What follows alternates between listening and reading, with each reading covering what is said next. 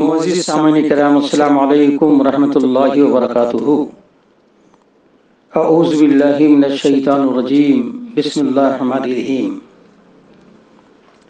आज की नूरानी बात में आप तमाम अहबाब का खैर मकदम किया जाता है।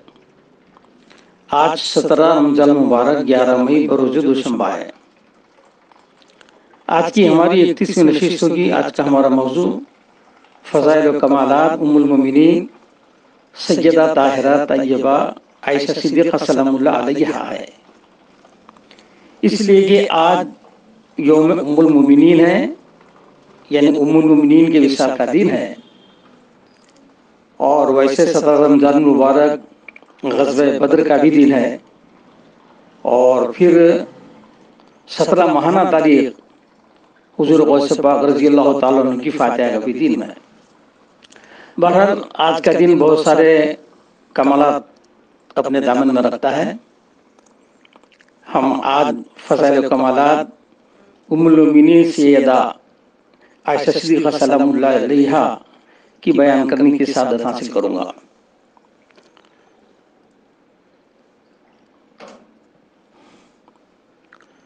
तू है खातून जन्नत की माँ आयशा। तू है खातून जन्नत की माँ आयशा। कोई दुनिया में तुझसा कहाँ आयशा? कोई दुनिया में तुझसा कहाँ आयशा? तेरी पाकीजगी और तकदीस का। तेरी पाकिजगी और तकदीस का। है गवाह खालिक दो जहाँ आयशा। है गवाह खालिक दो जहाँ आयशा। सूर नूर में है जिसका तस्करा। सूर ए नूर में है जिसका तस्करा। है उसी नूर की कहकशा आयशा। है उसी नूर की कहकशा आयशा। कितना आखा और सिद्दीक से प्यार है। कितना आखा और सिद्दीक से प्यार है। है उसी प्यार की दास्ता आयशा। है उसी प्यार की दास्ता आयशा। रब ने कुरान में खुद बताया हमें। रब ने कुरान में खुद बताया हमें, हम सभी मोमिनों की है माँ आयशा। हम सभी मोमिनों की है माँ आयशा। हज़रत ग्रामी वाकयात बयान करने से पहले चल मुंतखब अहदीस शरीफा पेश करने की सादत हासिल कर रहा हूँ। समात फरमाए। उम्मीन सैदा ताहिरा तैयबा आयशा सिद्दीक़ा अलैहा के कमालात और फ़ज़ाइल बहुत ज़्यादा हैं, जिसका अंदाज़ा लगाना बहुत ही मुश्किल है। अल्लाह तबारक ताला ने उम्मुल मोमिनीन की बरात के इजहार के लिए सत्रह कुरान पाक की आयत नाजिल फरमाई, जो खान मजीद का हिस्सा है। और इन ताला हमेशा आपकी अजमत शान का मुँह बोलता सबूत बनी रहेंगी। इसी तरह आपकी बरकत से अल्लाह तबरक ताला ने तयमुम का हुक्म नाजिल फरमाकर उम्मत के लिए आसानी का रास्ता फराहम किया है। हुक्म इलाही से हज़रत सीना जबरील सलाम आपकी तस्वीर लेकर हुजूर नबी करीम सल्लल्लाहु अलैहि वसल्लम की खिदमत में हाजिर हुए और फरमाया कि ये आपकी दुनिया व आखिरत में बीवी होगी। इसी तरह हुजूर नबी करीम सल्लल्लाहु अलैहि वसल्लम ने आपको जिब्रील सलाम का सलाम भी पहुँचाया। बारगाह दुसात आप सल्लल्लाहु अलैहि वसल्लम में आपकी अजमत व मर्तबत भी किसी से पोशीदा नहीं है बल्कि आम खास सबके हाँ मुसलिम है। हुजूर नबी करीम सल्लल्लाहु अलैहि वसल्लम ने इरशाद फरमाया कि आयशा की फजीलत तमाम औरतों पर ऐसी है जैसे सुरेद की फजीलत तमाम खानों पर। मैं ये वजाहत करता चलूँ कि सुरेद सालन जो है ये शोरबे में रोटी डालकर तैयार किया जाता वाले खाने का नाम है जो अरब में सबसे ज़्यादा मरगूब खाना था। हज़रत अमर बिन आस रज़ी अल्लाह तआला ने हुजूर नबी करीम सल्लल्लाहु अलैहि वसल्लम से अर्ज़ किया कि आप लोगों में सबसे ज़्यादा किसे पसंद करते हैं? तो सल्लल्लाहु अलैहि वसल्लम फरमाया फरमाया आयशा अलैहा। एक मौके पर हुजूर नबी करीम सल्लल्लाहु अलैहि ने इरशाद फरमाया मुझे आयशा के बारे में तकलीफ़ ना पहुंचाओ। बस बेशक मुझ पर आयशा के बिस्तर के अलावा किसी के बिस्तर में वही नहीं उतरती। एक मरतबा आखिर जहाँ नबी रहमत सल्लल्लाहु अलैहि वसल्लम ने सीधा कायनात हज़रत फातिमा से फरमाया कि ए फातिमा ए मेरी प्यारी बेटी क्या तुम मुझसे मोहब्बत नहीं करोगी जिससे मैं मोहब्बत करता हूँ? हज़रत सैदा फातिमा सलाम ने अर्ज़ की क्यों नहीं? यानी मैं भी उससे ज़रूर मोहब्बत करूँगी जिससे आप मोहब्बत करते हैं। तो आप सल्लल्लाहु अलैहि वसल्लम ने फरमाया सो तुम इस आयशा से मोहब्बत करो। हुजूर नबी करीम सल्लल्लाहु अलैहि वसल्लम को हुजूर नबी करीम सल्लल्लाहु अलैहि वसल्लम को आखिरी वक्त मिसवाक चबाने चबा कर देने की सादत भी हज़रत आयशा सिद्दीक़ा ही को हासिल रही। और जब हुजूर नबी करीम सल्लल्लाहु अलैहि वसल्लम दीगर अजवाज के हुजरों में थे तो मर्द के बावजूद दरियात फरमाते थे कि आज कौन सा दिन है। गोया आप हज़रत ऐसा सिद्दीक़ा की बारी के दिन का इंतज़ार फरमा रहे हैं। चुनाचा सब अजवाज मुतहरात की दरखास्त पर आप सल्लल्लाहु अलैहि वसल्लम हज़रत आयशा सिद्दीक़ा रज़ी अल्लाह तआला के हुजर मुबारक में तशरीफ़ लाए। और इसी हुजर मुबारक में आप रहे और इसी हुजर मुबारक में आप अपने रब से जा मिले और आपकी आखिरी आरामगाह भी हुजर आयशा बना। उम्मुल मोमिनीन हज़रत आयशा सिद्दीक़ा रज़ी अल्लाह तआला बहुत ही जी इल्म और जहीन थी।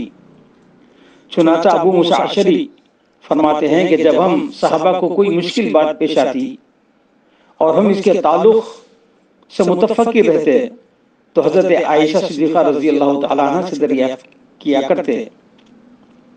तो हमने आपको इस बारे में जी इल्म पाया। हज़रत मूसा भी तनहा फरमाते हैं कि मैंने हज़रत आयशा सिद्दीक़ा रज़ी अल्लाह तआला से ज़्यादा फसाहत वाला किसी को नहीं पाया। ताबईन के मशहूर पेशवा हज़रत इमाम जहरी रज़ी अल्लाह फरमाते हैं कि अगर तमाम मर्दों का और उम्महातुल का इल्म एक जगह जमा किया जाता है तो हज़रत आयशा सिद्दीक़ा रज़ी अल्लाह तआला का इल्म इन सबसे ज़्यादा वसी होता है। एक और मौके पर फरमाया कि हज़रत आयशा सिद्दीक़ा रज़ी अल्लाह तआला तमाम लोगों में ज़्यादा आलिमा थी बड़े बड़े साहबा कराम इनसे पूछा करते थे हज़रत उर्वा बिन जुबैर रज़ी अल्लाह तआला कहते हैं कि मैंने फिका तिब और शायरी में हज़रत आयशा सिद्दीक़ा रज़ी अल्लाह तआला से ज़्यादा बड़ा आलिम किसी को नहीं पाया। उम्मुल मोमिनीन हज़रत आयशा सिद्दीक़ा रज़ी अल्लाह तआला के अंदर फसाहत और बलागत का भी कमाल दर्जे पाई जाती थी। चुनाचा हुजूर नबी करीम सल्लल्लाहु अलैहि वसल्लम की जब वही नाजिल होती तो आपकी मुबारक नूरानी पेशानी पर पसीना आ जाता। इस वाक़े को उम्मुल मोमिनीन इस तरह बयान फरमाती थी कि आपकी मुबारक पेशानी पर मोती ढलकते हैं।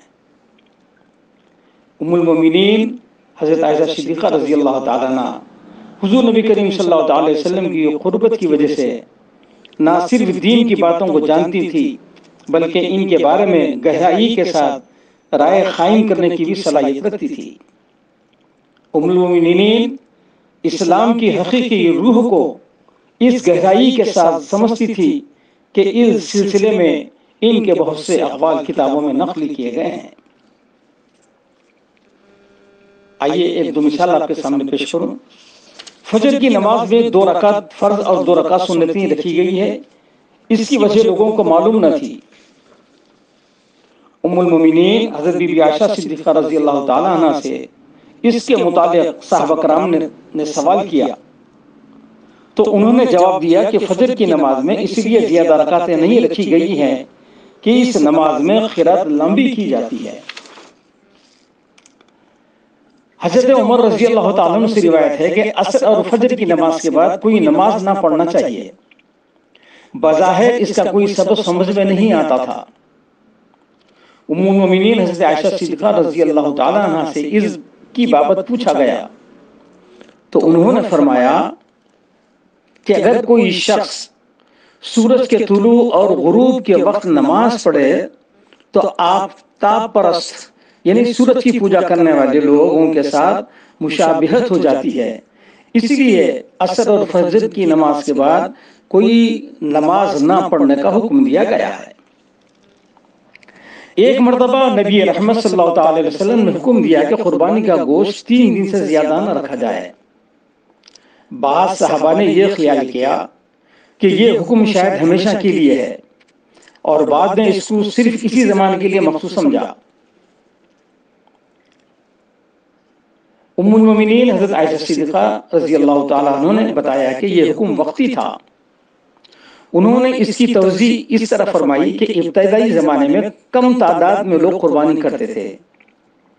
इसलिए हुक्म दिया गया ताकि जिन लोगों ने कुर्बानी नहीं की है, इन्हें भी इसका गोश्त मिल जाए। उमुल मोमिनीन हज़रत आयशा सिद्दीका रज़ी अल्लाह तआला का मर्तबा हदीस के रावियों में भी बहुत ज़्यादा बुलंद है। हज़रत अबू हुरैरा रज़ी अल्लाह तआला और हज़रत अब्दुल्ला बिन अब्बास रज़ी अल्लाह तआला के सिवाय किसी और सहाबी से इतनी रिवायतें बयान नहीं की हुई है जितनी उम्मुल हज़रत आयशा रज़ी अल्लाह तआला ने बयान की हुई है। उम्मुल सैयद आयशा सिद्दीका रज़ी अल्लाह तआला बहुत ज़्यादा सखी थी। किसी भी साहिब को खाली हाथ वापस लौट ना लौटाती। एक बार हज़रत अमीर अमावैया रज़ी अल्लाह ने इनकी खिदमत में एक लाख दिरहम रवाना किए। शाम होते होते उन्होंने सब में दे दिया और अपने लिए कुछ ना रखा। इस दिन वो रोज़े से थी। खादिमा ने कहा कि इफ्तार के लिए घर में कुछ भी नहीं है। फरमाया, पहले क्यों नहीं याद दिलाया? अगर पहले कुछ याद दिलाया जाता तो कुछ रख लिया जाता। हज़रत अब्दुल्ला बिन जुबैर रज़ी अल्लाह जो आपके भांजे थे, उम्मुल मोमिनीन की इस गैर मामूली फयाजियों को देखकर उन्होंने एक बार कहा कि उम्मील मोमिनीन का हाथ रोकना चाहिए। इस पर आप इतना नाराज़ हुई कि अपने भांजे हज़रत अब्दुल्ला बिन जुबैर से बात ना करने की कसम खा ली। फिर हुजूर नबी करीम सल्लल्लाहु अलैहि वसल्लम के ननिहाली रिश्तेदारों ने बहुत कहा। तो आपने इस मामले को माफ़ कर दिया। और इस हसन के कफारे में आपने चालीस गुलाम आज़ाद किए। उम्मुल मोमिनीन पर्दे का भी कितना लिहाज फरमाती हैं कि एक बार हज़रत इब्न इसहाक इनसे मिलने के लिए तशरीफ़ लाए जो नाबीना थे। आपने इनसे पर्दे में रहकर बात की। इब्न इसहाक ने कहा कि, या उम्मुल मोमिनीन, आप मुझसे पर्दा क्यों करती हैं? मैं तो नाबीना हूँ, आपको देख भी नहीं सकता। उम्मुल मोमिनी ने जवाब दिया कि, तुम नाबीना हो, मगर मैं तो बीना हूँ। हज़रत गिरामी हुजूर नबी करीम वसल्लम की बीवियों के लिए अल्लाह तबारक ने यह हुक्म दिया था कि आपके बाद दूसरा निकाह ना करें। हज़रत आयशा सिद्दीका रज़ी अल्लाह तआला हुजूर नबी करीम सल्लल्लाहु अलैहि वसल्लम की के बाद 48 साल तक तन्हा रही। उन्होंने चारों खुलफा राशिदीन का जमाना देखा। इस पूरी मुद्दत में आप दीन की खिदमत करती रही। इस तरह वो हुजूर नबी करीम सल्लल्लाहु अलैहि वसल्लम के बाद तकरीबन निसफ सदी तक वो उलूम नबूवत को उम्मत तक पहुँचाने का ज़रिया बनी रही। हुजूर नबी करीम सल्लल्लाहु हज़रत ग्रामी, ये तो फजल कमालात की एक अदना सी झलक थी। आइए अब उम्मुल मुमिनीन से आयशा सिद्दीका के निकाह और आपके विशाल के बारे में मुख्तसर सा बयान कर दूँ। हुजूर नबी करीम सल्लल्लाहु अलैहि वसल्लम, उम्मुल मुमिनीन से खुजरा की वफात के बाद बहुत गमगीन रहने लगे थे। चुनाचे हज़रत उस्मान बिन मकून रज़ी अल्लाह तआला के अहलिया मोहतरमा, हज़रत खौला बिन हकीम रज़ी अल्लाह अन्हा हुजूर की खिदमत में हाजिर हुई और अर्ज़ की कि, या रसूल अल्लाह सल्लल्लाहु अलैहि वसल्लम, आप दूसरा निकाह फरमा लीजिए। आप सल्लल्लाहु अलैहि वसल्लम फरमाया कि किससे करूँ? तो हज़रत खौला रज़ी अल्लाह तआला ने अर्ज़ की कि या रसूलुल्लाह बेवा और कंवारी दोनों तरह की लड़कियाँ हैं। आप इनमें से जिससे चाहे निकाह कर लें। आप सल्लल्लाहु अलैहि वसल्लम ने फरमाया वो कौन है? तो हज़रत खौला रज़ी अल्लाह तआला ने अर्ज़ की कि या रसूलुल्लाह बेवा तो हज़रत सुदा बिनत जामा है और कमारी अबू बकर की बेटी आयशा सिद्दीका है। हुजूर नबी करीम सल्लल्लाहु अलैहि वसल्लम ने फरमाया कि बेहतर है कि तुम आयशा के मुतालिक गुफ्तगू करो चुनाचे हज़रत खौला हज़रत अबू बकर सिद्दीक रज़ी अल्लाह के साथ तशरीफ़ पास तशरीफ़ ले गई। और इनसे हज़रत आयशा सिद्दीक़ा रज़ी अल्लाह के रिश्ते के ताल्लुक से बात की। तो हज़रत सैदना सिद्दीक अकबर रज़ी अल्लाह तआला ने बसर और चश्म इस मुबारक रिश्ते को कबूल कर लिया। और खवला से फरमाया कि मुझे रिश्ता मंजूर है। और जो जिस वक्त चाहे तशरीफ़ ले आए। चुनाचा हजूर नबी करीम सल्लल्लाहु अलैहि वसल्लम तशरीफ़ लाए और हज़रत अबू बकर सिद्दीक रज़ी अल्लाह तआला ने निकाह पढ़ा और मेहर की मकदार 400 दिरहम मुकर्रर हुई। ये वाकया बहुत तवील है लेकिन मैंने बहुत ही मुख्तसर से अंदाज में आपके सामने पेश किया हूँ। हज़रत अमीर माविया रज़ी अल्लाह का खिलाफत का आखिरी दौर हज़रत सैद आयशा सिद्दीक़ा रज़ी अल्लाह की ज़िंदगी का भी आखिरी दौर रहा। इस वक्त आपकी मुबारक उम्र तिरसठ साल की थी।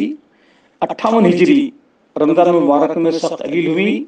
यहाँ तक सत्रह रमज़ान मुबारक, मुताबिक तेरह जून छह सौ अठहत्तर ईस्वी को नमाज़ वितर के बाद रात के वक्त इस जहाँ फानी से रुखसत हुई। इन्ना लिल्लाहि व इन्ना इलैहि राजिऊन। आपने अपनी वफात से पहले वसीयत फरमाई थी कि मुझे दिगर अजवाज मुतरहात के साथ जन्नतुल बकी ही में दफन किया जाए। और मुझे वफात के बाद फ़ौरन ही दफन कर दिया जाए। चुनाचा ऐसा ही किया गया और आपको रात के वक्त ही जन्नतुल बकी में सुपुर्द लहद किया गया। और हज़रत सैन अबू रज़ी अल्लाह तआला ने आपकी नमाज़ जनाजा पढ़ाई। इस रात जन्नतुल बकी में जनाजे में इतना हुजूम लगा कि लोगों का बयान है कि रात के वक्त इतना मजमा कभी जन्नतुल बकी में नहीं देखा गया। हज़रत गिरामी बहुत ही बहुत ही बहुत ही मुख्तर अंदाज में मैंने ये चंद वाक़ पेश किए गए हैं। वरना आपकी तिरसठ साल ज़िंदगी एक समंदर जैसी हैसियत रखती है। दुआ करता हूँ कि अल्लाह तबाला हमारी इस कोशिश को शर्फ कबूली से सरफराज फरमा कर उम्मुल मोमिनीन की खिदमत में भी शर्फ कबूलियत से नवाज़ दे और हम सब की और हमारे अहल खाना की इसको नजात का ज़रिया बना दे। आमीन। इन ताला मोमिनीन की नूरानी ज़िंदगी के चंद हसीन वाकत इन कल की महफिल में पेश करने की मैं शादत हासिल करूँगा। दुआ के अल्लाह तबारक इसको कबूल फरमाए। असल वरहमत लाही रहमतुल्लाहि व बरकातहू।